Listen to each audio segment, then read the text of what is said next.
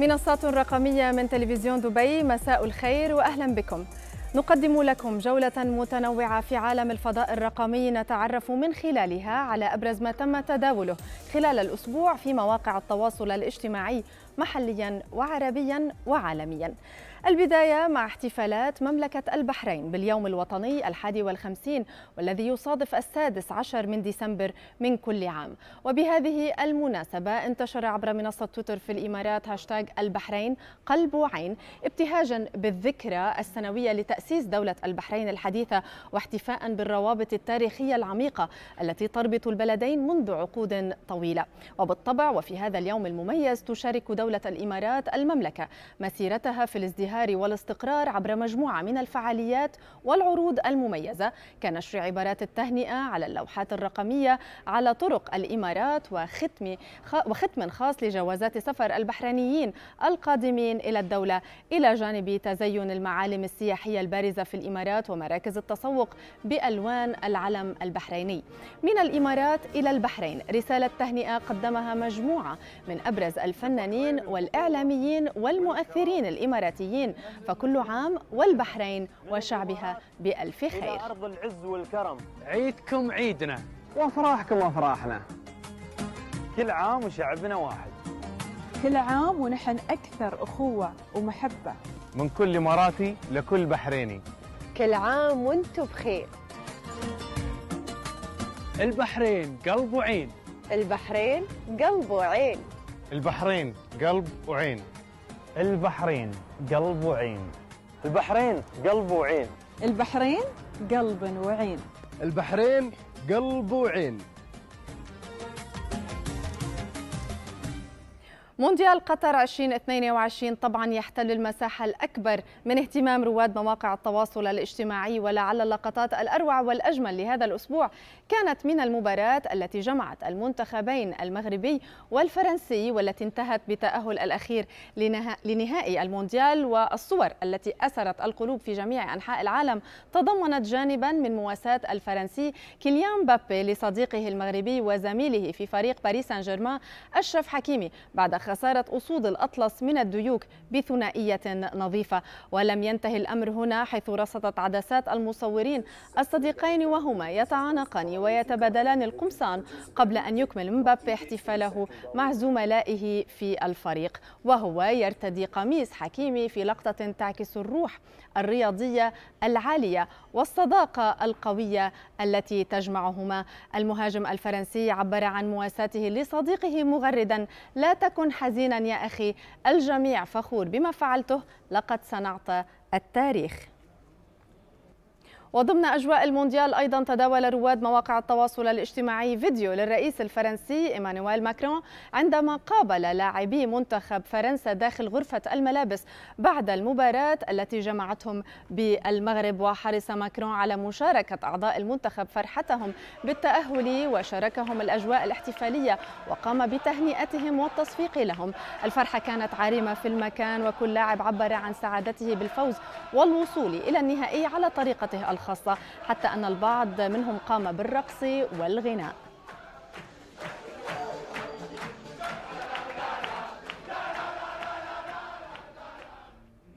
في الفترة الأخيرة بدأ محبو كرة القدم عربيا بترقب توقعات المشجع العماني محمد الحجري الذي عرف باسم المشجع المنحوس على مواقع التواصل الاجتماعي. وذلك بعد أن لاحظ متابعوه أنه كلما شجع منتخبا في كأس العالم خسر. فقبل المباراة بين المغرب وفرنسا طلبت السفارة الفرنسية في عمان من المشجع العماني عدم ارتداء قميص المنتخب الفرنسي أو قميص المنتخب المغربي خلال المباراة. وذلك من خلال فيديو ظهر فيه نائب القنصل الفرنسي في عمان على تويتر. لكن رغم ذلك قرر المشجع المنحوس أن يرتدي قميص المنتخب الفرنسي خلال المباراة. وذلك تلبية لما طلبه الجمهور العربي ولسوء أو لحسن حظ هذه المرة تأثيره على النتيجة كان معاكسا وخسارة المنتخب المغربي أنهت التهمة التي اتصف بها بعد أن كادت أن تبقى ملتصقة فيه مدى الحياة. فلنا لقاء في الملعب. و viva France الأسطورة الأرجنتيني ليونيل ميسي أبهر العالم كذلك خلال نصف نهائي كأس العالم بعد أن ضمن لفريقه التأهل إلى نهائي المونديال.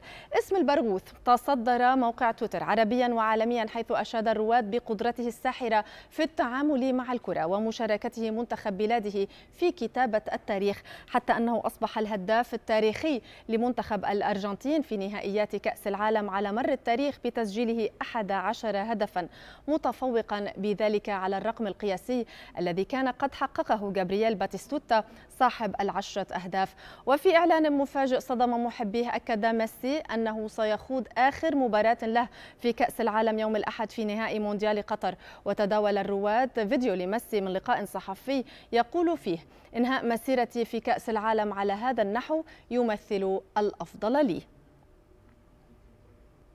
كثيرا ما تحدث آخر صرعات التكنولوجيا الجدل في العالم الافتراضي وهذا ما حدث مع تطبيق غزا العالم مؤخرا حتى أصبح متداولا على نطاق واسع عربيا وعالميا عبر مواقع التواصل الاجتماعي. الحديث هنا عن تطبيق تحرير الصور لنسا اي اي الذي شهد إقبالا هائلا في الآونة الأخيرة بعد إضافة ميزة الصور الرمزية السحرية ماجيك افاتار التي تعالج ما بين 10 إلى 20 صورة شخصية باستخدام الذكاء الاصطناعي على نحو غير مسبوق وما بين الشد والجذب حول الخصوصية التي يوفرها التطبيق فقد قفز إجمالي عدد مرات تنزيله في الوقت الحالي إلى 20 مليون. في حين بلغ خلال شهر نوفمبر الماضي نحو مليون و600 ألف عملية تنزيل مقارنة مع 220 ألف عملية تنزيل في أكتوبر الماضي أي بنسبة نمو بلغت 600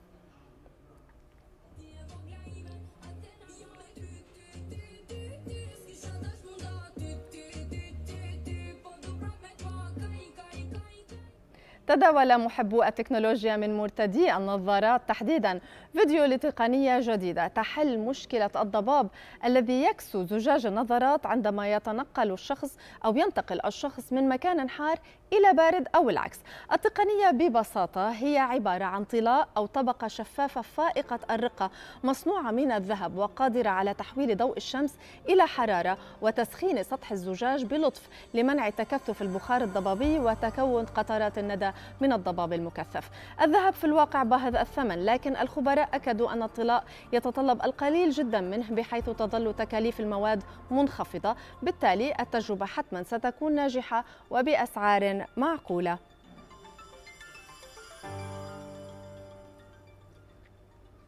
وإلى جديد المنصات إنستغرام تقدم مجموعة من المميزات الجديدة من أبرزها ميزة الملاحظات أو إنستغرام نوتس لمشاركة الأفكار مع الأصدقاء والتي تسمح للمستخدمين بإضافة ملاحظات مكونة من 60 حرفا إلى ملفهم الشخصي في الرسائل المباشرة. إلا أن هذه الملاحظات ليست ليست ثابتة بل تختفي بعد مرور 24 ساعة من نشرها مثل خاصية الستوري. وفي جديد منصة التغريد الشهيرة قيامها بتغيير ألوان حسابات التوثيق بحسب فئات محددة وهي الشركات والأفراد والحكومات. وبالفعل هذا ما ظهر مؤخرا على صفحات عدد من الحسابات على منصة التواصل الشهيرة حيث تم تغيير لون علامة التوثيق الخاصة بحسابات بعض الشركات إلى اللون الذهبي وذلك بالتزامن مع إعادة إطلاق المنصة خدمة التوثيق الزرقاء تويتر بلو التي تكون مخصصة للأفراد سواء كانوا مشاهير أم لا. في حين سيتم تخصيص العلامة الرمادية للحكومات. وبالانتقال إلى تطبيق واتساب الذي ينافس سناب شات ويختبر خاصية جديدة لتعزيز الحماية حيث يعتزم تطبيق التراسل الفوري إطلاق ميزة العرض لمرة واحدة للرسائل النصية. وتعمل الخاصية الجديدة على حذف الرسائل التي يرسلها المستخدمون بعد قراءتها وذلك على غرار خاصية العرض لمرة واحدة الموجودة حاليا في التطبيق للصور ومقاطع الفيديو. وستطبق الميزة الجديدة رسالة محددة فقط بدلا من محادثة كاملة. وبهذا ستمنع المتلقي من نسخ الرسائل أو إعادة إرسالها بعد رؤيتها أو حتى أخذ لقطة شاشة لتلك الرسائل. بعد الفاصل تحدي لصناع المحتوى لإبراز مقومات التميز في دبي عبر حملة وجهة دبي. ابقوا معنا.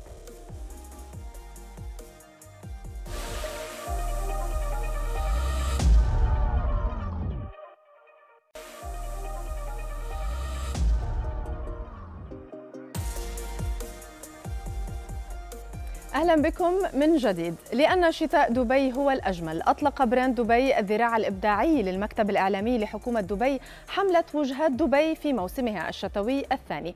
هذه الحملة التي تهدف لإبراز أهم المعالم السياحية والفعاليات التي تتميز بها دبي في مثل هذا الوقت من العام سواء الترفيهية أو الثقافية وكذلك الرياضية والإبداعية.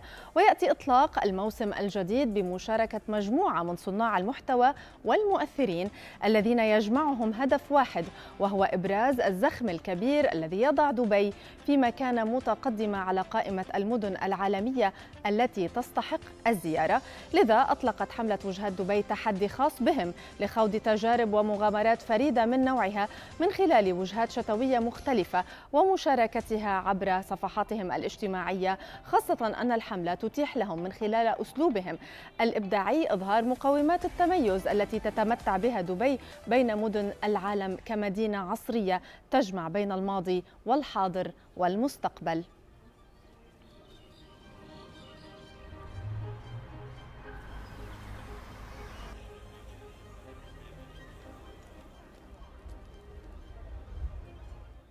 للحديث عن حملة وجهات دبي وكيف يمكن لسكان وزوار مدينة دبي الاستفادة من فعاليات هذه الحملة الشتوية. ينضم إلينا في الاستوديو السيدة شيماء السويدي مديرة Brand Dubai الذراع الإبداعي للمكتب الإعلامي لحكومة دبي. طبعا يعني دبي ليست بحاجة للإعلان أو للترويج فهي مدينة ووجهة عالمية للسياحة. فما هي الفكرة الأساسية من وراء هذه الحملة؟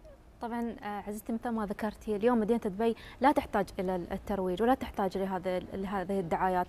ولكن اليوم نحن حابين أن إحنا نبرز ونسلط الضوء على أهم الفعاليات والأنشطة الموجودة في اماره دبي. ومثل ما تعرفين اليوم مدينة دبي هي أفضل مدينة للحياة في العالم. صحيح. وهذا طبعا على حسب المؤشرات الدولية التي تضع دبي على يعني على الخارطة خارطة خارطة الإبداع.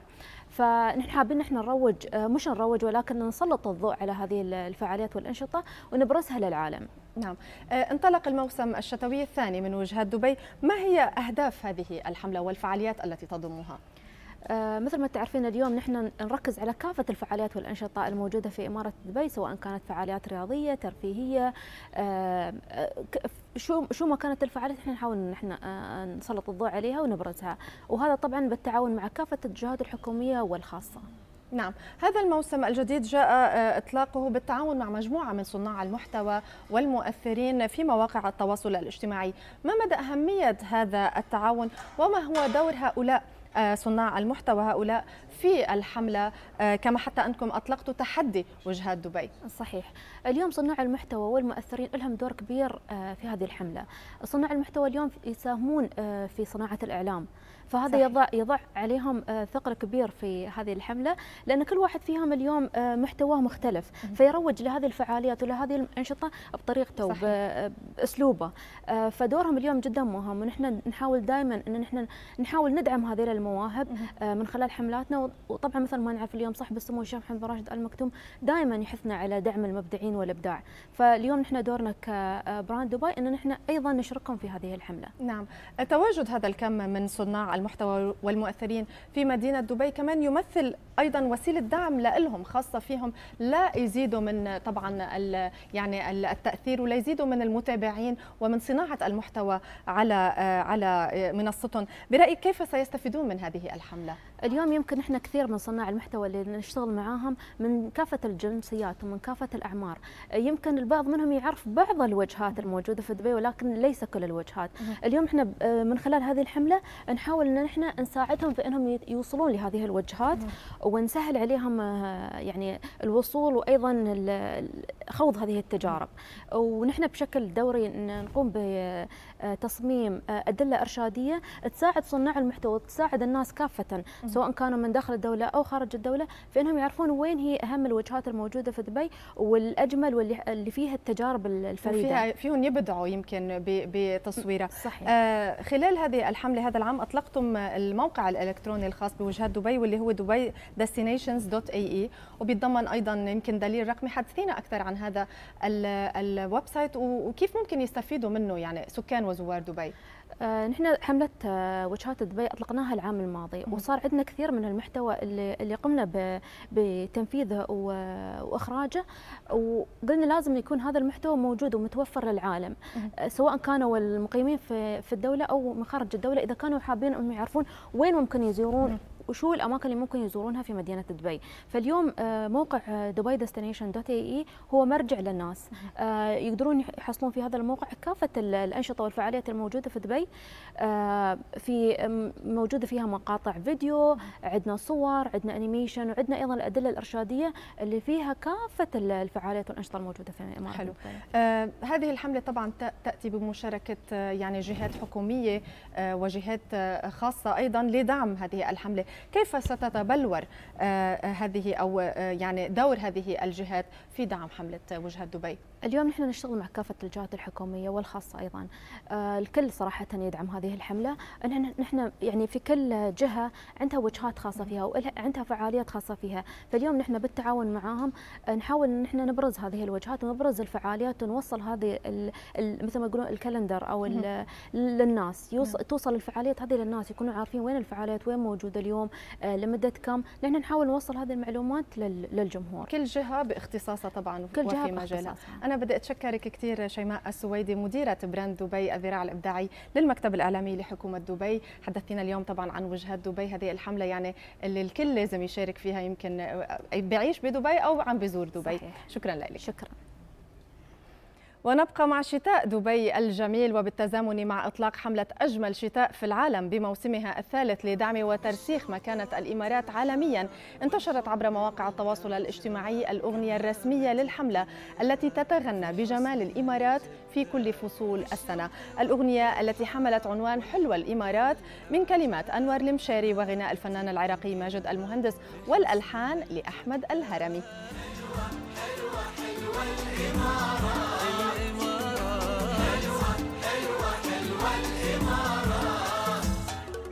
هي في الشتاء والصيف. حلوة ولا تسأل كيف. لا زرتها تخليك راعيها. ما انت بعد الفاصل إيلون ماسك يثير الجدل كعادته ودونالد ترامب رجل خارق في إعلان ترويجي.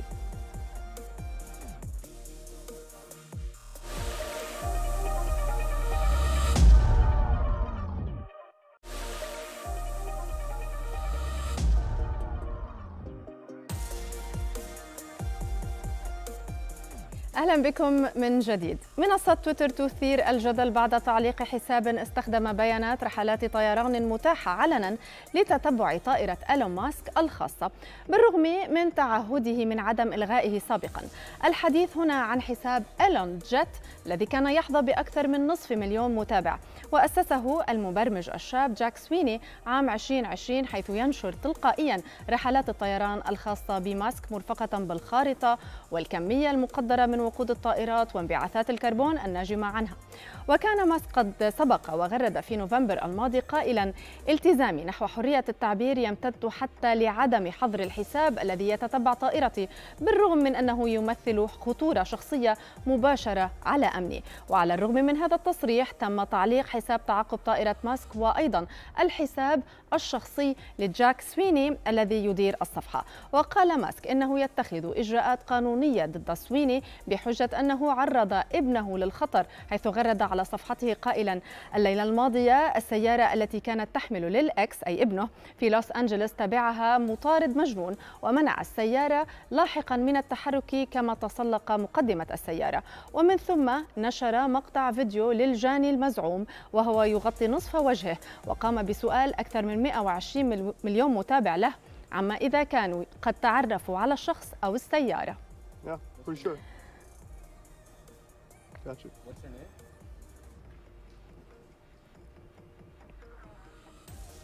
وفي هذا السياق قام موقع تويتر أيضا بتعليق حسابات أكثر من ستة صحفيين تقنيين بما في ذلك مراسلي نيويورك تايمز وواشنطن بوست وسي إن إن. وكان العديد من هؤلاء المراسلين قد غردوا مؤخرا حول النزاع بين إيلون ماسك وجاك سويني الذي يتتبع رحلات الملياردير الجوية. وقال الصحفي دول هارويل درو هارويل من واشنطن بوست لشبكة سي إن إن إن إيلون ماسك يقول إنه مناصر لحرية التعبير وهو يحظر الصحفيين لممارسة حرية التعبير. أعتقد أن هذا يدعو إلى التشكيك في التزامه. الرئيس الأمريكي السابق دونالد ترامب يظهر كبطل خارق عبر شبكة التواصل الاجتماعي الخاصه به Truth Social وذلك للترويج لإعلان مهم. ترامب الذي ارتدى بدلة حمراء مكتوب عليها حرف T وأطلق أشعة ليزر من عيونه علق على الفيديو قائلا إن أمريكا بحاجة إلى بطل خارق وإنه سيدلي بإعلان مهم. وفعلا مباشرة بعد ذلك ومن خلال فيديو آخر تبين أن هدف ترامب هو عرض مجموعة محدودة من بطاقات الرموز غير القابلة للاستبدال أن أفتي للبيع وذلك بسعر 99 دولار عبر موقع collecttrumpcards.com البطاقات هي عبارة عن صور تشبه الرسوم المتحركة وتظهر ترامب على أنه بطل خارق أو لاعب جولف أو حتى ممثل في هوليوود. وبالإضافة إلى البطاقات أعلن ترامب عن مسابقة لسلسلة من الجوائز بما في ذلك عشاء في ميامي برفقته ولعب الجولف واجتماع فردي وتذكارات موقعة منه شخصيا. لكن للمهتمين بالأمر للأسف تم بيع جميع البطاقات في غضون ساعات من نشر الإعلان. بعد موجة الانتقادات الواسعة التي طالت الأمير هاري وزوجته ميغان ماركل بسبب مسلسلهما الوثائقي الذي تعرضه منصة نتفليكس رد الثنائي في بيان أصدره المتحدث باسمهما. قال فيه أن الزوجين لم يذكرا أبدا أن الخصوصية كانت سببا للتخلي عن واجب واجباتهما الملكية وأنهما كانا دائما يعتزما الاستمرار في الواجبات العامة بعد مغادرة العائلة المالكة ومن أكثر اللقطات التي أثارت غضب البريطانيين على المنصات الرقمية عندما ظهرت ميغان في أحد المشاهد وهي تسخر من تحية الملكة في أول لقاء معها بينما كانت تنحني بشكل مبالغ فيه فيما وصفت التقاليد المتبعة داخل القصر الملكي بأنها سريالية مشبهة مراسم العشاء داخل القصر بالنظام المبتذل في العصور الوسطى.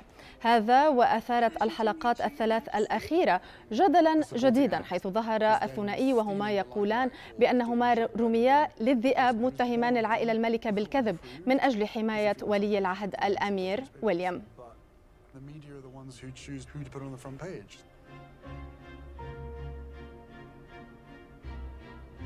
First time that the, the penny dropped for her, M and I. ومن الأخبار المؤسفة التي تداولها رواد مواقع التواصل هذا الأسبوع خبر وفاة النجم الأمريكي ستيفن بوس المعروف باسم تويتش الذي أنهى حياته عن عمر ناهز الأربعين عاما مخلفا صدمة كبيرة لجمهوره وأسرته. دي جي تويتش عرفه الجمهور من خلال برنامج The Ellen Show الذي انضم إليه في عام 2014 كمنسق موسيقي حتى أصبح جزءا من عائلة البرنامج الذي تقدمه الكوميدية الشهيرة إلين ديجينيرز والتي قامت بوداعه على طريقتها بنشر العديد من الفيديوهات والصور والكلمات المؤثرة. أما زوجة ستيفن ووالدة أطفاله الثلاث فنعته بدورها بكل حزن مؤكدة أنه كان العمود الفقري للعائلة وأفضل زوج وأب ومصدر إلهام لمعجبيه. الختام من دبي حيث كشفت جينيس للأرقام القياسية عن هوية أقصر رجل في العالم وهو الإيراني أفشين إسماعيل قادر زادة البالغ من العمر 20 عاما ويبلغ طوله 65.24 سنتيمترا وهو أقل ب 6.86 سنتيمتر من أقصر رجل معروف عالميا. أفشين رجل مرح للغاية وهو ما يجعله مشهورا في القرية التي يعيش فيها. ورغم التحديات التي واجهها في حياته استطاع خلال هذه الزيارة إلى مدينة دبي من تحقيق أحد أحلامه بزيارة برج خليفة أطول مبنى في العالم معبرا عن فرحه بالإهتمام الذي يلقاه من الناس. ويبدو أفشين مستعدا للغاية للاستمتاع بحياة الشهرة التي ستلاحقه من الآن فصاعدا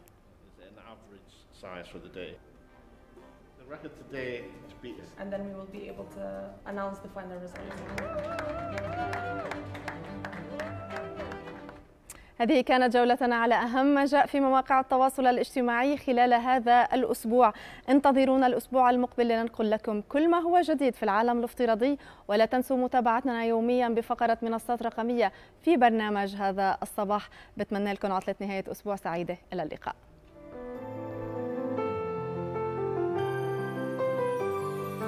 بالشوق والترحاب والحب والإعجاب كم هامت الدنيا في حسنها الجذاب.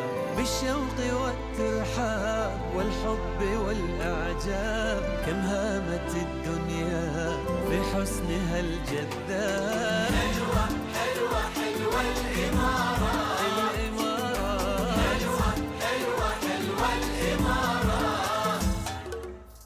الشتا والصيف. حلوة ولا تسأل كيف؟